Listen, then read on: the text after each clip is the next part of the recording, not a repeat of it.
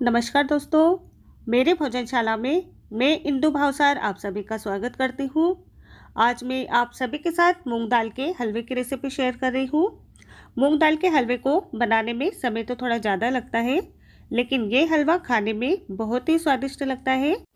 और आपने मेरे इंस्टेंट मूंग दाल के हलवे की रेसिपी को काफ़ी ज़्यादा पसंद किया है तो आज मैं आपके साथ भीगी हुई मूंग दाल के हलवे की रेसिपी शेयर कर रही हूँ। तो आइए दोस्तों, इसे बनाना शुरू करते हैं। और रेसिपी अगर आपको पसंद आती है तो वीडियो को लाइक करें वीडियो को शेयर करें। तो चलिए हलवा बनाना शुरू करते हैं। तो हलवा बनाने के लिए सबसे पहले हम दाल भिगो देते हैं। तो मैंने यहाँ पर एक कटोरी बिना छिलके वाली मूंग की दाल ली है। इस दाल को मूंग का मोगर भी कहते हैं। तो इस दाल को मैंने एक बर्तन में डाल दिया है और अब हम इसमें एक से डेढ़ गिलास पानी डाल देते हैं। और अब हम इस दाल के बर्तन को तीन से चार घंटे के लिए ढक कर के रख देते हैं ताकि दाल फूल करके सॉफ्ट हो जाए। और ये देखिए, चार घंटे पूरे हो गए तो दाल हमारी फूल करके सॉफ्ट हो गई है। तो अब हम इस दाल को दो बार पानी बदलते हुए अच्छे से मसल करके धो लेते हैं। और ये देखिए, मैंने दाल को अच्छी तरह से धो लिया है। तो अब हम इस दाल को मिक्सी के जार में डाल देते हैं। तो इस दाल को हमें दरदरा सा पीसना है तो मिक्सी को हमें एक साथ नहीं चलाना है। मिक्सी को कुछ देर चलाना है और फिर बंद करना है। और इस तरह से हमें दाल को दरदरा सा पीसना है। और ये देखिए दाल को मैंने दरदरा सा पीस लिया है। अगर हम हलवे की दाल को दरदरा पीसते हैं तो हलवा खाने में बहुत ही स्वादिष्ट लगता है। तो अब हम हलवा बनाना शुरू करते हैं। तो हमने यहाँ पर एक कटोरी मूंग दाल ली थी तो एक ही कटोरी देसी घी लिया है। तो सबसे पहले हम इस घी को दो चम्मच कढ़ाई में डाल देते हैं। तो मूंग दाल का हलवा बनाने में हमें जितने घी की आवश्यकता होगी, उतना घी हम इसमें इस्तेमाल करेंगे। अब मैंने यहाँ पर थोड़े से काजू और थोड़े से बादाम लिए हैं तो हम इन्हें गर्म घी में डाल देते हैं। और अब हम इन्हें लगातार चलाते हुए कुछ सेकंड तक भून लेते हैं। तो हलवे में ड्राई फ्रूट्स पूरी तरह से ऑप्शनल है, आप चाहे तो डालें और ना चाहे तो ना डालें। मूंग दाल का हलवा है तो खाने में वैसे ही स्वादिष्ट लगता है। और अगर आप इसमें ड्राई फ्रूट्स डाल देते हैं तो ये खाने में और भी स्वादिष्ट हो जाता है। तो मैंने यहाँ पर सारे ड्राई फ्रूट्स रोस्ट कर लिए हैं। और अब हम इस कढ़ाई में थोड़ा घी और डाल देते हैं, थोड़ा सा घी हम बचा लेते हैं।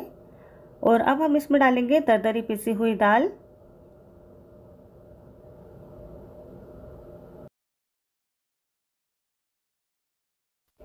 तो मैंने यहाँ पर कढ़ाई में सारी दाल डाल दी है और अब हम गैस को बिल्कुल धीमा कर देंगे और धीमी आँच पर इस दाल को 20 से 25 मिनट तक चलाते हुए भूनेंगे।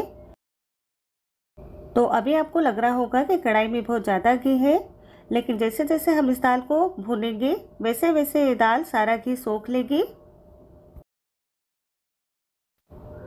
और ये देखिए, दाल ने सारा घी सोख लिया है। तो अब हम दाल को इसी तरह से चलाते हुए तब तक के पकाएँगे, जब तक के दाल से घी अलग नहीं हो जाता है। और ये देखिए, दाल को सेकते हुए मुझे पंद्रह मिनट हो गए हैं और दाल से घी अलग नज़र आने लगा है। लेकिन दाल अभी हमारी कच्ची है, क्योंकि इसका कलर बिल्कुल नहीं बदला है। तो मूंग दाल का हलवा बनाने की मेन स्टेप यही होती है कि दाल बहुत ही अच्छे से सीखी होनी चाहिए। अगर दाल अच्छे से सीखी होगी तो हलवा खाने में स्वादिष्ट लगेगा और हलवा खिला खिला सा बनेगा। तो दाल को सेकने में बिल्कुल भी जल्दीबाजी ना करें।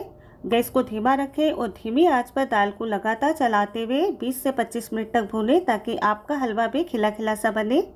और ये देखिए 20 से 25 मिनट हो गए और दाल का कितना प्यारा कलर आया है।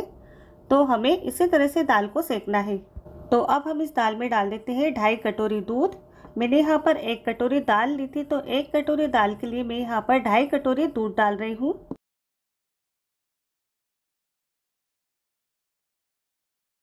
और अब हम इसे एक बार अच्छी तरह से मिला लेते हैं।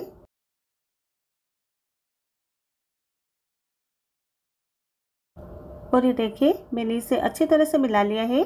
तो अब हम इसमें एक कटोरी शक्कर डाल देते हैं। मैंने यहाँ पर एक कटोरी दाल ली थी तो एक ही कटोरी शक्कर ली है। 20 से 25 धागे केसर के लिए थे, जिसे मैंने गर्म दूध में भिगो करके रखा हुआ था। तो अब हम इसे डाल करके अच्छे से मिक्स कर लेते हैं। तो हलवे में मिठास कम या ज़्यादा आप अपनी इच्छा के अनुसार कर सकते हैं। तो हमने यहाँ पर चीनी डाली है तो चीनी ने काफ़ी सारा पानी छोड़ दिया है, हलवा पतला हो गया है। तो अब हम हलवे को तब तक के पका लेते हैं, जब तक कि चीनी का पानी सूख नहीं जाता है और हलवा गाढ़ा नहीं हो जाता है। और ये देखिए, कुछ ही देर में हलवा हमारा गाढ़ा हो गया है और ये कढ़ाई भी छोड़ने लगा है। और जो हमने केसर डाली थी तो केसर का कलर भी बहुत ही अच्छा आ गया है। तो अब हम इसमें ड्राई फ्रूट्स डाल देते हैं, जो हमने पहले से रोस्ट करके रखे हुए हैं। थोड़ा सा हरी इलायची का पाउडर डाल देते हैं और इसे अच्छी तरह से मिला लेते हैं। और ये देखिए, मैंने यहाँ पर सभी को अच्छे से मिला लिया है। तो अब ये हलवा हमारा बन करके तैयार है। तो इस हलवे को सर्व करने से पहले हम इसमें एक चम्मच घी और डाल देते हैं। और अगर आप चाहें तो हलवे में बाकी बचा सारा घी डाल सकते हैं। तो अगर हम हलवे में ऊपर से घी डालते हैं तो हलवे का टेस्ट डबल हो जाता है। और हलवा दिखने में भी बहुत ही सुंदर दिखता है। तो आप जब भी हलवा बनाएँ, इसमें ऊपर से घी ज़रूर से डालें। और ये देखिए, मैंने यहाँ पर घी को अच्छी तरह से मिला लिया है। तो अब ये हलवा हमारा बन करके तैयार है। हम गैस को बंद कर देते हैं और इस हलवे को हम गर्मा गर्म एक बर्तन में निकाल लेते हैं। और अब हम इस हलवे के ऊपर से कटे हुए ड्राई फ्रूट्स से इसकी गार्निश कर देते हैं। तो ये लीजिए दोस्तों, हमारा बहुत ही स्वादिष्ट मूंग दाल का हलवा बन करके तैयार है। तो आप एक बार इस तरह से मूंग दाल का हलवा बनाएँ और मुझे बताएँ कि आपका हलवा कैसा बना है। तो अगर आपको मेरी आज की रेसिपी पसंद आती है तो वीडियो को लाइक करें, वीडियो को शेयर करें और मेरी भोजनशाला को सब्सक्राइब करें और साथ में बेल आइकन को ज़रूर से प्रेस करें, जिससे कि मेरी आने वाली हर रेसिपी का नोटिफिकेशन आपको सबसे पहले मिले। तो दोस्तों, आपका बहुत बहुत धन्यवाद मेरा पूरा वीडियो देखने के लिए। तो मिलते हैं एक नई रेसिपी के साथ। तब तक के लिए बाय